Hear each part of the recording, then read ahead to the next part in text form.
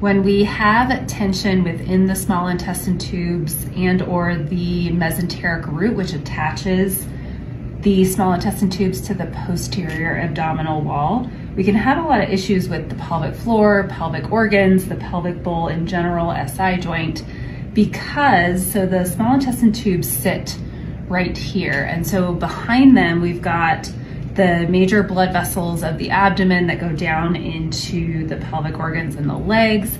And then the lymphatic system since sits back here as well.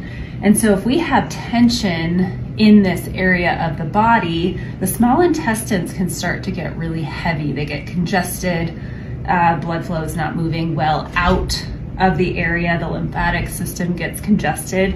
And so they start to get heavy and instead of sitting well in the abdomen here, they start to drop down and add pressure to the pelvic floor muscles, the nerves in the area, the organs. And so there's a lot of added strain to an area that already tends to have a lot of pressure just from gravity, posture, lifestyle habits.